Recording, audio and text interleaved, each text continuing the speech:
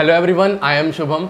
आज हम लोग जोसा काउंसलिंग के प्रोसेस में पूरा का पूरा डिटेल जानेंगे। आप लोग पहले से ही कई सारे वीडियो देख चुके होंगे, पर फिर भी आप इस वीडियो में बने रहिए, क्योंकि अलग अलग जगह पे मैं कुछ ऐसे पॉइंट्स ज़रूर बताऊँगा जो आपको जोसा के बारे में नहीं मालूम होगा, या फिर उस पर आपको कन्फ्यूज़न होगा। तो पहले वीडियो को अच्छे से पूरा देख लीजिए, उसके बाद कुछ कमेंट करिए कि हाँ भैया, ये डाउट तो फिर भी रह गया, इसका क्या आंसर होगा? क्योंकि आप लोग जो कमेंट में पूछते हैं, वो ऑलरेडी कई बार वीडियो में आंसर दिया हुआ रहता है तो पहले अच्छे से वीडियो को देख लें। और उससे भी ज़्यादा इंपॉर्टेंट यार मतलब क्या कर रहे हो आप लोग? सात हज़ार, आठ हज़ार व्यूज़ आ जा रहे हैं वीडियोज़ पे, दस हज़ार, पंद्रह हज़ार तक भी व्यूज़ आ जा रहा है, पर सब्सक्राइबर का कुछ अदा पता नहीं चल रहा है। मैंने आपको पहले भी बोला है ना कि अगर मुझसे आपको कुछ सपोर्ट मिल रहा है तो फिर आप मुझे भी सपोर्ट करिए, क्योंकि इक्लिब्रियम मेंटेन रहना चाहिए। चलिए पहले मैं थोड़ा सा ब्रीफ दे देता हूँ आपको जोसा काउंसलिंग प्रोसेस के बारे में। जो लोग जान रहे हैं वो 30 सेकंड वीडियो को आगे स्किप कर लें। देखिए आपका जो भी रैंक आता है उस अकॉर्डिंगली आप सारा कॉलेज रिसर्च करते हैं कि हाँ भाई कौन कौन सा कॉलेज आपको मिल सकता है और कहाँ पर आप जाना चाहते हैं। उस अकॉर्डिंगली आप एक ना प्रायोरिटी लिस्ट बनाते हैं कि, कि हाँ भाई फ़र्स्ट नंबर पे मैं एनआईटी इलाहाबाद का इलेक्ट्रिकल में जाना है। सेकंड नंबर पे एनआईटी जमशेदपुर का इलेक्ट्रॉनिक्स कम्युनिकेशन में जाना है। तो आपका अपना प्रायरिटी होता है कि हाँ भाई सबसे पहले मेरा यहाँ जाने का मन है दूसरा नंबर पर यहाँ जाने का तीसरा नंबर पर यहाँ जाने का मन है। उसी हिसाब से आप अपना लिस्ट आप जोसा को फिल करते हैं उसके वेबसाइट पे। तो जो ऑप्शन आपने फिल किया है, वो ऑप्शन और बच्चों का भी डिमांड में होगा, वो लोग भी वो ऑप्शन लेना चाह रहे होंगे। तो अब जो जोसा ये देखता है कि हाँ भाई जो जो उस सीट के लिए अप्लाई किया उस ऑप्शन के लिए, उसमें से वो रैंक वाइज अलॉट कर देता है कि हाँ भाई, जिसका अच्छा रैंक है, उसको पहले वो सीट मिलेगा, जिसका थोड़ा कम है, उसको बाद में वो सीट अलॉट होगा। इस तरह से कई राउंड में ये अपना काउंसलिंग करवाता है कि आपका जो जो प्रायोरिटी है, उस हिसाब से आपको कौन सा बेस्ट ऑप्शन मिल सकता है आपके रैंक के हिसाब से। पहले टोटल सात राउंड में ही होता था, पर इस साल छः राउंड में ही होगा आपका।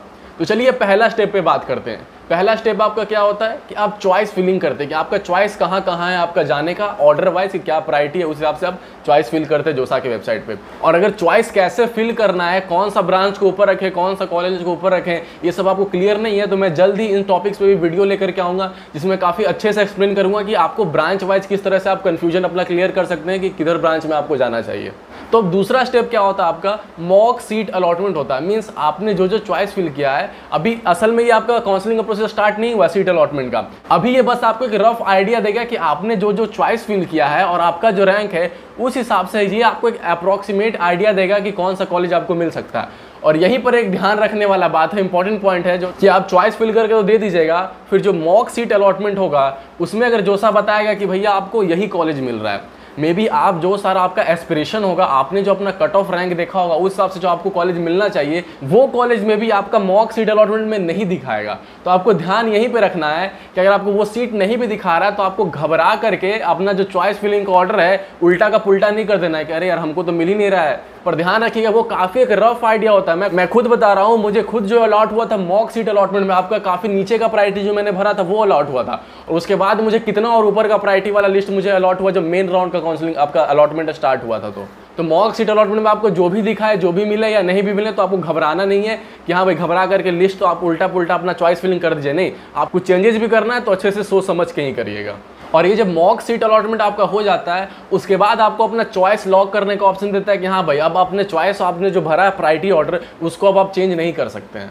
और एक और बात आपका है कि कोई आपका रजिस्ट्रेशन फ़ीस नहीं होता आपके जोसा के काउंसलिंग के लिए। सी के लिए होता है, पर जोसा के लिए नहीं होता। है और सी काउंसलिंग क्या है? स्पेशल राउंड जिसे कहते हैं, उसका भी एक डिटेल्ड वे में काफ़ी अच्छा से आपका वीडियो मैंने बना रखा है, उसे जाकर के एक बार ज़रूर देख लीजिएगा आप।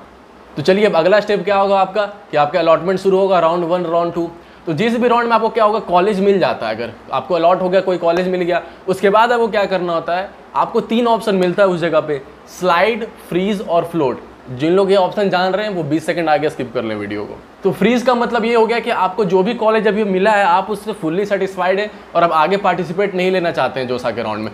तो आपको जो कॉलेज मिला फाइनली आपको वही मिल करके आगे आपका प्रोसेस स्टॉप हो जाएगा।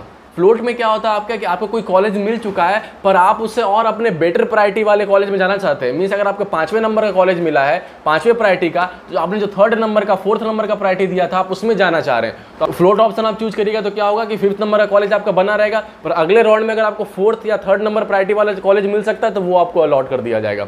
और तीसरा ऑप्शन जो आपका स्लाइड होता है स्लाइड क्या होता है कि आपको उसी जो कॉलेज आपको मान लेते हैं एनआईटी पटना मिल चुका है तो आप एनआईटी पटना में रहना चाहते हैं, पर अभी मैकेनिकल मिला है तो आप मैकेनिकल के अलावा कोई और हायर ब्रांच में आप जाना चाहते हैं तो आपका एनआईटी पटना कॉलेज फिक्स हो जाएगा, पर ब्रांच आपका अपग्रेड होने का ऑप्शन रहेगा।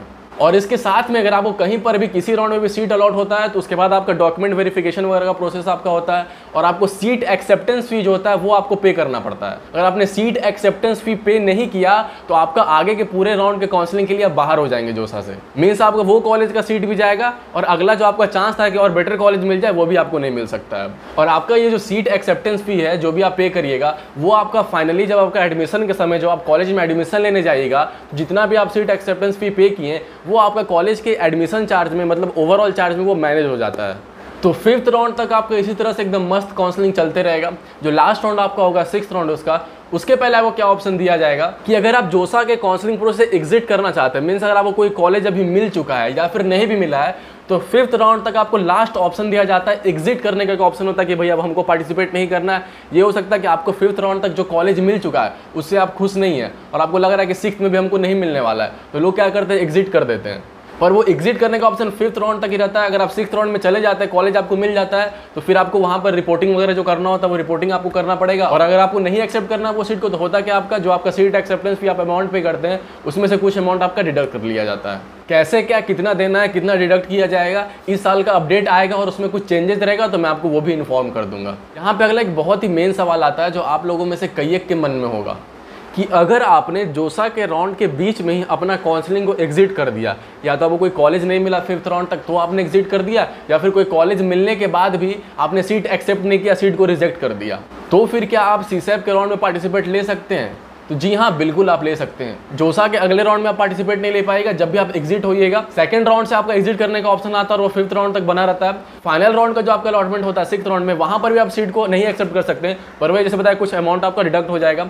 तो हाँ अगर आपने रिजेक्ट कर दिया सीट को या एग्जिट ले लिया है आपने जोसा से, फिर भी आप सी के राउंड में बिल्कुल पार्टिसिपेट ले सकते हैं। इस तरह से आपका सिक्स राउंड तक का काउंसलिंग समाप्त हो जाएगा टोटल तो जिस भी कॉलेज में आपको अलॉटमेंट हुआ होगा सीट मिला होगा, उसके लिए आपको रिपोर्टिंग करना पड़ेगा कि हाँ भाई, आपको एडमिशन लेना पड़ेगा, सारा डॉक्यूमेंट जमा हुआ करके फ़ीस वगैरह ये सब का काम करना पड़ेगा। तो यहाँ पर एक बात आप दिमाग में बैठा लीजिए, अपना सुन लीजिए ध्यान से।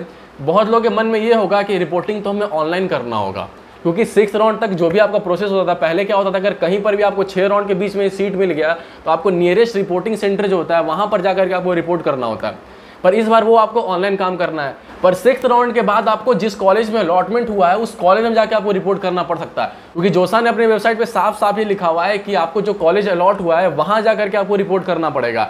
अभी उसने वो क्लियर नहीं किया कि आपको ऑनलाइन रिपोर्ट करना पड़ेगा। पर हाँ उसने ये बात लिखा है कि अगर सिचुएशन उस तरह से अलाउ नहीं किया तो फिर हम लोग ऑनलाइन मेथड की तरफ़ जा सकते हैं। तो अभी अपने मन में कुछ इस तरह का नहीं बैठा लीजिएगा, आप प्रिपेयर रहिएगा, क्योंकि आपको चार से पाँच दिन का ही समय मिलता है कि उसी बीच में आपको जाकर के वहाँ रिपोर्ट करना पड़ता है। अगर उस बीच में आपने रिपोर्ट नहीं किया तो आपका सीट कैंसिल हो जाता है। और ध्यान रखिएगा, सारा डॉक्यूमेंट वगैरह रेडी हो, इसमें कोई आपका दिक्कत ना आ जाए। और ये सब हो जाने के बाद आपका सी सैप का काउंसलिंग शुरू होता है स्पेशल राउंड का काउंसलिंग शुरू होता है। उसमें मैंने जो वीडियो बनाया हुआ एक बार ज़रूर जाके देख लीजिएगा उसे। और उसके बाद कुछ भी डाउट होगा तो उसी वीडियो के कमेंट बॉक्स में आप कमेंट करिएगा। मैं आपको या तो रिप्लाई कर दूँगा, या फिर अगर कुछ कॉमन डाउट्स होगा तो मैं स्पेशली उस पर एक वीडियो बना दूँगा। और हाँ यहाँ पे एक बात बता दूँ कि आपको जोसा में जो भी कॉलेज मिला होगा, अगर आप स्पॉट राउंड में पार्टिसिपेट करना चाहते हैं तो फिर आपको सिक्स राउंड के बाद जो आप रिपोर्ट करते हैं उस कॉलेज में, उसमें आपको पूरा फ़ी पे करने का ज़रूरत नहीं होता है। फ़ी आपको फाइनल जब सी का भी काउंसलिंग खत्म हो जाएगा फाइनली जो कॉलेज अलॉट होगा, उस कॉलेज में आपको टोटल फ़ी पे करना पड़ता है। और हाँ पर यहीं पर जिन बच्चों को पहले से ही ऑलरेडी आईआईटी अलॉट हो चुका था और उसके बाद वो सीसैम में जाना चाह रहे हैं तो सीसैम में तो आपका आई पार्टिसिपेट करते नहीं है, सिर्फ़ एन आई ट्रिपल आईटी और जी होते हैं। तो जिसने आई में पार्टिसिपेट किया था तो उसने जो सीट एक्सेप्टेंस फ़ी या कॉलेज फ़ी जो दिया, वो आई को दिया होगा। पर इस राउंड में आपका सिर्फ़ एन वगैरह पार्टिसिपेट करते हैं तो उन्हें दोबारा पेमेंट करना पड़ सकता है यहाँ पर। एक और बात यहाँ पर है आई के बच्चों के लिए, जिन्होंने अपने चॉइस फिलिंग में आई टी दोनों भरा होगा उनका क्या होता था पिछले साल तक आपका कि अगर आपको मान लेते पहले के राउंड में आपको आईटी मिल गया तो आईटी मिलने के बाद आप क्या होता है रिपोर्टिंग सेंटर में जाकर रिपोर्ट करना पड़ा था आपको, जो यहाँ पर इस बार ऑनलाइन रिपोर्टिंग करना है। तो आपको होता था क्या अगर आई मिल गया, आपने जाकर सेंटर पर रिपोर्ट कर दिया, उसके बाद अगले राउंड में अगर आपको आई कोई मिलते जा रहा है, कोई हायर आपका प्रायोरिटी का आई मिलते जा रहा है तो ठीक है। पर आपको कहीं से एनआईटी मिल जाता है जैसे पहले आई सिविल मिला और अब एनआईटी में कंप्यूटर साइंस उसे मिल गया, उसे दोबारा से जाकर के रिपोर्टिंग करना पड़ता था उसे। अब वो वो रिपोर्टिंग उसे एनआईटी के रिपोर्टिंग सेंटर पर जाए करना पड़ता था, ना कि आईआईटी के। हालाँकि इस बार तो सारा प्रोसेस ऑनलाइन आपका हो रहा है तो इस बार डुअल रिपोर्टिंग का क्या केस है, आपको उतना क्लियर नहीं है। जैसा कुछ अपडेट होगा नया तो आप साइट पर चेक करते रहेगा या फिर मैं भी आपको इन्फॉर्म कर दूँगा। तो चलिए, यही था आपका जोसा के काउंसलिंग प्रोसेस के बारे में। जल्दी मैं चॉइसेस कैसे फिल करना है लिस्ट प्रिपेयर करना है ब्रांचेस कैसे डिसाइड करना है, उसमें भी मैं काफ़ी खास वीडियो लेकर के आऊँगा तो जुड़े रहेगा चैनल से। वीडियो पसंद आएगा तो अच्छे से लाइक और शेयर करिएगा। और कई सारे वीडियोज़ हैं चैनल पर काउंसलिंग से रिलेटेड जाकर के उन्हें ज़रूर देखिएगा। तो चलिए दोस्तों, फिर मिलते हैं अगली वीडियो में।